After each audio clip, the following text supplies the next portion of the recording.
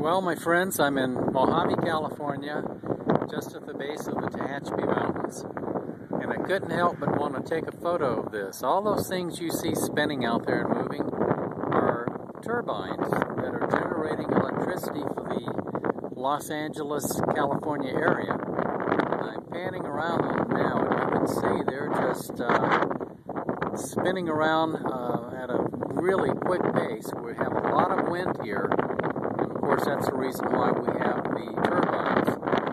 I'm pan on around over to this direction, and I'm going to show you two that are right there. They're just across the road here.